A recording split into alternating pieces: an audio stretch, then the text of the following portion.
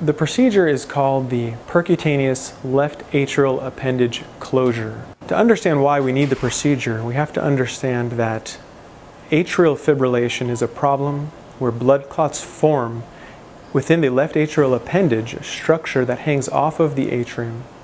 Blood clots form there and they can break off and cause a stroke. Typically, we use medicines like Coumadin, Pradaxa, Xarelto to thin the blood protect the patient from blood clots forming and protect them from having a stroke. Now, in some patients, they've taken these medicines and they've developed some life threatening bleeding complication such that we can no longer use these medicines.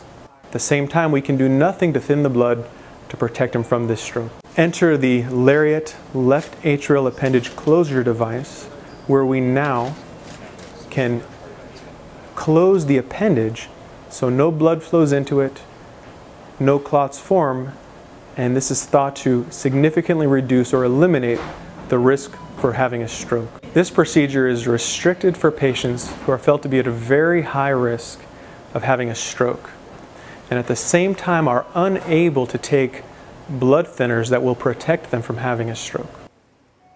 One sheath from inside of the body coming up with the wire, a magnet on the tip at the very edge of the appendage. Now we have the second sheath in the pericardial space and a second wire at the outside of the appendage. When these two magnets kiss, now we have a rail. The lariat device here can now come over the appendage. This balloon is right at the mouth of the appendage and we can see that with continuous echo. And now we know we are proximal to the balloon at the mouth of the appendage.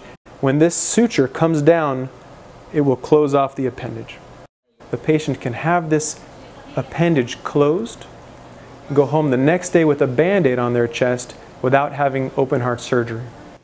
We have the facilities uh, in place and the expertise in place and we're able to work as a team to be the first in the state to roll out this device and provide a service to the patients of Oklahoma. Up until this time they've been waiting around hoping to not have a stroke now we can proactively protect them from having that stroke.